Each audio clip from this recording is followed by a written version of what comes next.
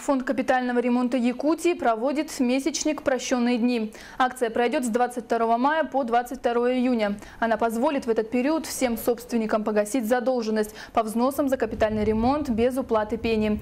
Эта акция проводится впервые. Инициатива фонда капремонта была поддержана правительством республики, Министерством ЖКХ и Общественным советом. В акции могут принять участие все физические и юридические лица, являющиеся собственниками многоквартирных домов. А Основным а, условием освобождения от пени является полностью погашение всей задолженности и текущее начисление за май месяц. А, Платить можно всеми способами приема платежей.